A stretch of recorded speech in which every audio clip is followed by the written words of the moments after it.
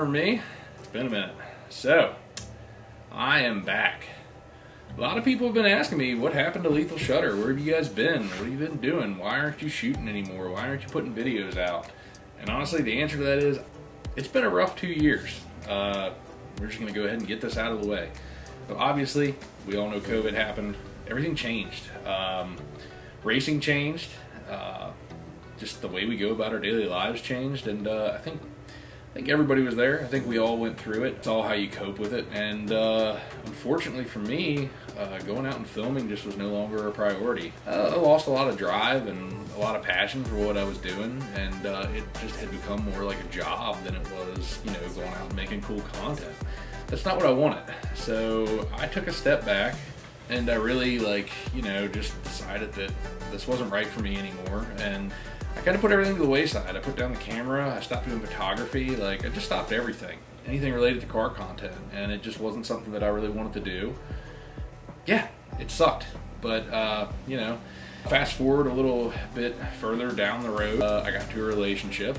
I won't go into great details, but it didn't end so well, and that challenged my mental health again. And um, yeah, but in that happening, I kind of realized that you know life is too short, and uh, there's one thing that I've always loved, and it's this: it's uh, it's making car content. And I think I really had just lost the core of what this was all about for me. Yeah, I, I'm I'm ready to start again. I don't know. It just kind of hit me one day. It's like you know.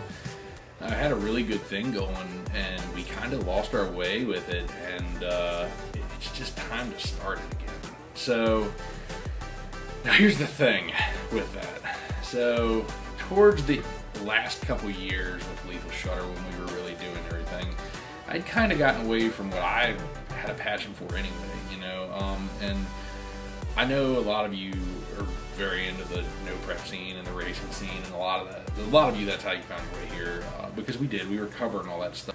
You know, it got to a point where it was like, don't get me wrong, I love racing, and I love that type of racing, but covering that and traveling around to these races and you know filming that stuff it just was exhausting. And when you make no money doing it and you just constantly are chasing that next race that next race uh, it just sucked a lot of the joy out of filming for me. And it just made it seem like more of a, a second job that i wasn't getting paid for. And it was like why am i doing this man? Like you know i don't know. It's just weird.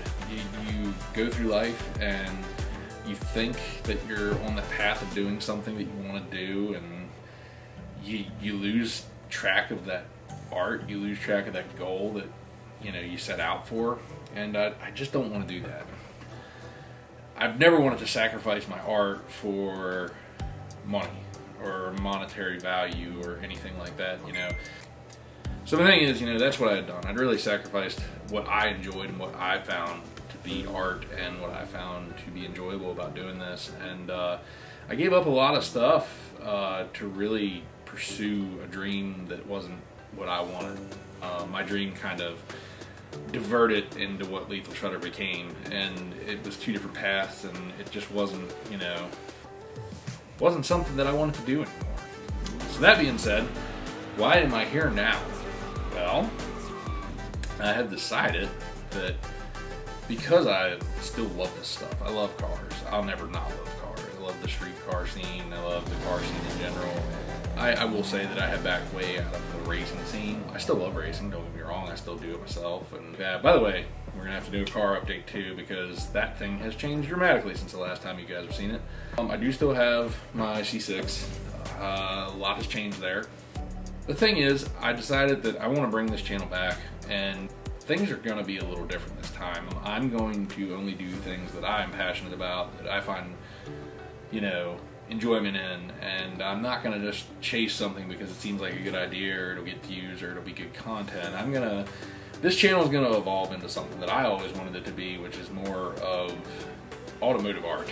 And I know that sounds crazy, but like I grew up with shows like Top Gear and, you know, just watching the art that goes into filming something like that and the the beauty of cars and like the true nature of why we like cars and it just I don't know to me that is more about what I want to portray on this channel I want to show what cars are all about, what cars mean to people, what cars mean to me. You know, that's something that I've wanted to chase for a long time, and I finally had the opportunity to do it because I'm not contracted to anybody anymore. I'm not, you know, required to show up at this race or go do this or do that. So the thing is, I can kind of make my own content and do it the way I want to do it. That's exactly what we're going to do. I I don't have a plan. I have no plan at all. But a lot of you are probably going to ask, like, why why am I doing this? Why am I even going about this now? Like, why am I going back to it? Well, I just want to make cool shit. I want to make cool car content, and uh, I want to make cool car content that means something to me. And um, I don't really know what that is yet. I don't have a plan. I'm still working on that part, but I have some ideas. Don't get me wrong, I have some ideas. Uh, you're gonna see some photography stuff here. Uh, you're gonna see some video. Uh, you're gonna see some car features still. I, I still plan to do that kind of stuff. I love doing that kind of stuff. You're gonna see me working on my own car a little bit. You're gonna see uh, my friends working on their cars and it's gonna kind of be still like a vlog style uh, but we're also gonna do the cinematic stuff and you know uh, there'll be some after movies coming up. Actually I, while we're here I guess I should talk about that too. So something that I am stepping back into and that I have taken a big passion in a lot of you may have heard of Mustang Fest. It's a new event for this year. My good friend Andy Howard reached out to me and he said I have something for you. I have a project that I want your help with. I want you to jump in on, into this thing, you know, feet running, and I want you to basically help me out with this. We need a photographer. We need somebody that can do graphic design.